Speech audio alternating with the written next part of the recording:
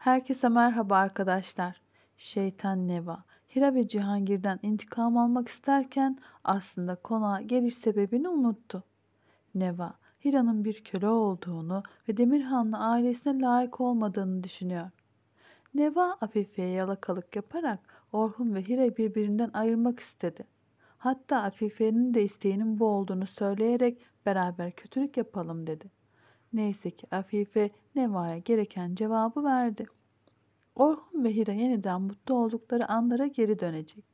Mümkünse Orhun Hira'yı Afife'nin gözünün önünde öpmeye devam etsin. Afife'nin şok olduğunu görmek gerçekten çok güzeldi. Aslında birazcık Afife de memnun oldu gibi. Orhun'un Hira'ya yaklaştığı bu güzel an için bir kalp emojisi bırakmanızı bekliyorum. Afife Hira'yı Orhun'a layık görmüyor. Ancak Afife Orhun'un Hira olmadan yaşayamayacağını da çok iyi biliyor. Bu nedenle Afife Hira'ya davranışlarına dikkat etmesini istedi. Ben yine de Afife'nin Orhun ve Hira'nın ilişkisine müdahale etmesinin yanlış olduğunu düşünüyorum. Ama öte yandan da bir an önce Orhun ve Hira'nın evlenmesini ve Orhun'un Neva ve Cihangir'in sonsuza dek göndermesini istiyorum. Neva ya da bir başkası Hira'nın acı çekmesine neden olmasın. Benim gibi düşünenler videoyu beğeni butonuna basarak beni yalnız bırakmasın lütfen.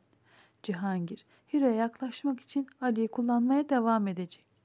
Yakında Ali'nin resim yarışmasında başarı elde ettiği ortaya çıkacak. Neva bu durumu bir kez daha kullanıp Hira ve Cihangir arasında bir ilişki varmış gibi ortam yaratacak.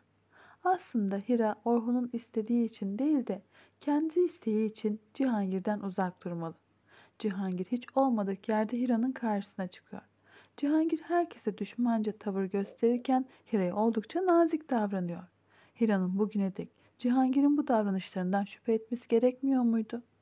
Bizler güçlü Hira görmek istiyoruz. Ama senarist iyiliği çok abartan ve kandırılmaya müsait bir Hira karakteri yazıyor. Bu arada Kanal 7'de yeni bir dizi başlayacak. Dizinin adı Rüzgarlı Tepe.